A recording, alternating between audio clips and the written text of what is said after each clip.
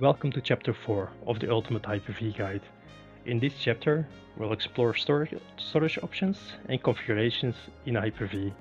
You'll learn about virtual hard disks, storage pools and how to optimize, optimize storage for performance and reliability.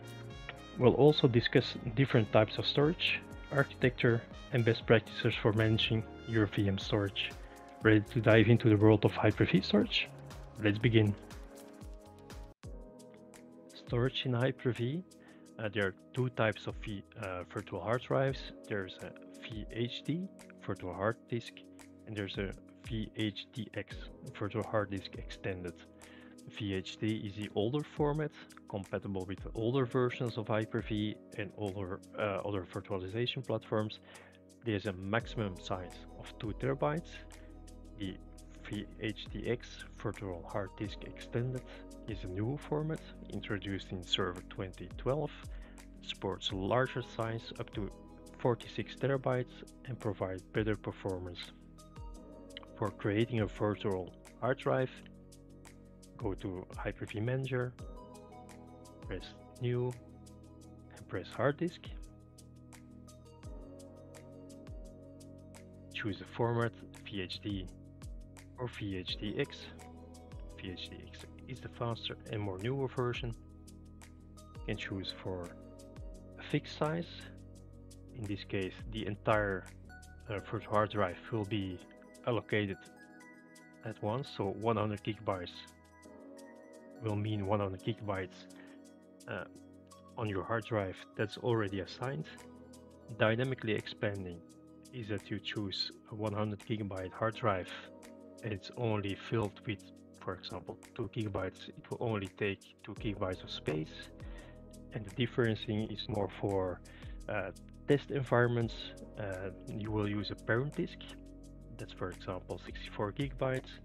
And it will only uh, track the difference. So if you use for uh, as a clone uh, 2 gigabytes as for difference, for example, for Windows updates, it will only add that 2 gigabyte difference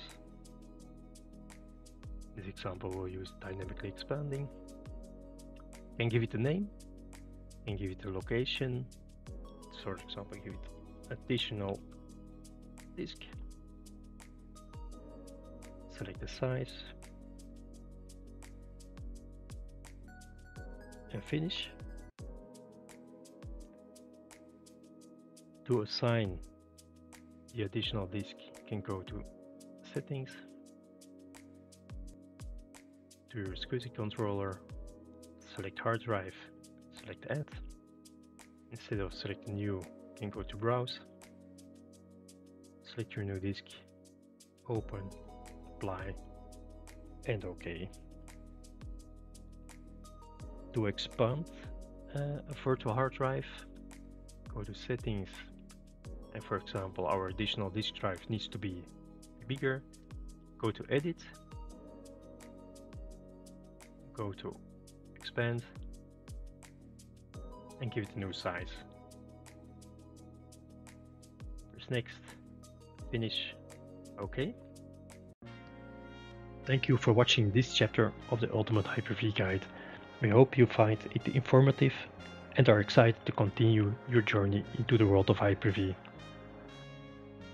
Stay tuned for more insights and hands-on guides. For our dedicated supporters, upcoming chapters are available right now exclusively for YouTube members. Each week, a new chapter will be released for everyone to enjoy, so don't worry if you're not a member yet. And if you're eager to dive into the entire guide, you can download the full book on Ko-fi. It's available for free or with any contribution you like to make. Your support helps us grow this channel and continue providing valuable content to the community, so join us.